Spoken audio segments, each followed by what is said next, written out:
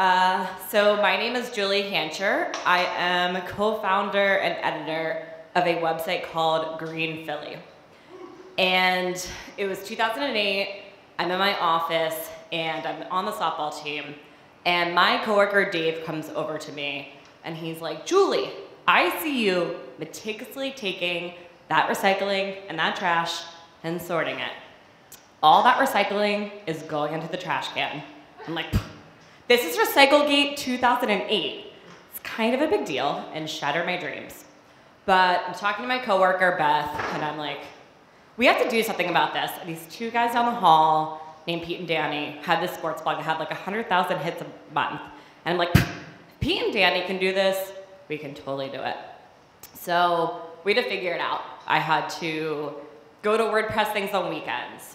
I had to break my website all the time and go to Pete and Danny down the hall and ask them how to fix it. But I did.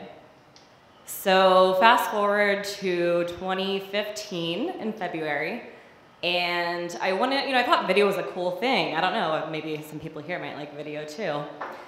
And my good friend Jill was working for her aunt and had, um, was on production. So I kind of guilt tripped her and, you know, convinced her to do a video for me with a local company called Solar States in Fishtown. So I'm like, okay, Jill, I'll pick you up, we'll go over and uh, do the video, we had to figure it out. And uh, go out to my car, but my bumper is on the street.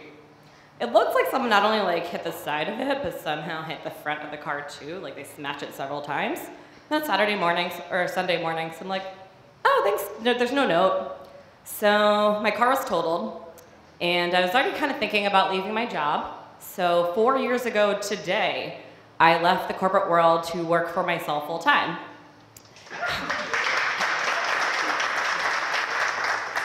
Thank you. So I had to figure it out.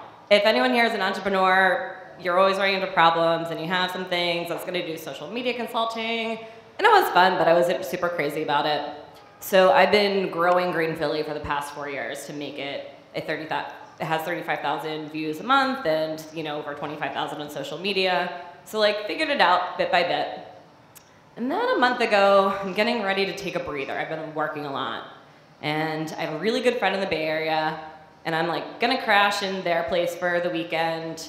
And I'm like, you know, going through my emails, and I see one, and the subject line is important media request. I'm like, huh, what's this? So I open it up. Someone's like, hey, I'm from AJ Plus, an Al Jazeera outlet, and uh, I want to interview you. I like want to do a pre-screen. I'm like, okay, cool. So it's on the phone. I'm like trying to Google what she's asking about and we talked for a few minutes. And uh, she's like, okay, I'm gonna let you know in a few days. So like right before I'm leave, about to leave for my trip, she's like, so uh, let you know, I'm in California, in San Fran. I'm about to go to Henry Cowell State Park, which is this beautiful place with huge redwood trees. I'm pumped. And I get an email that's like, hey, can you talk this morning? We want to video you. I'm like, oh, cool. I'm like, I'm in California. Hope she doesn't mind. So uh, I pick up the phone and she calls me, and like 15 minutes later, so I'm sitting in my friend's house freaking out. I'm like, what, what, what does she want to do? So she calls me and she's like, so um, we're gonna come to your house and film you and talk to you about recycling. So because of Green Philly, we've had a column since 2012 called Where Can I Wednesday? So we talk about like where to recycle your headphones or what to do with your old CDs. And like I have a pretty good grasp on this, but I start freaking out with every item she's talking about because I'm like, I know glass isn't like it's downcycled, but I don't know exactly where it goes.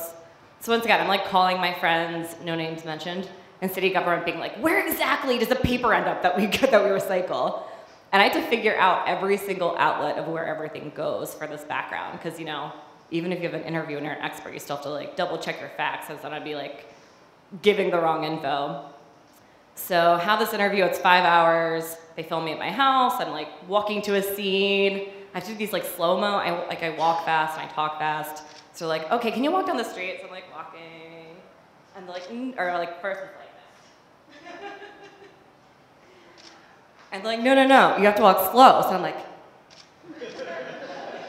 like just walk like a normal human. So all this happens, it's like a month ago now you know, they came to my house for this whole film. And the best part is, after I had to figure out all of these things, the, I was probably on screen for like a minute, which was awesome and it was really cool.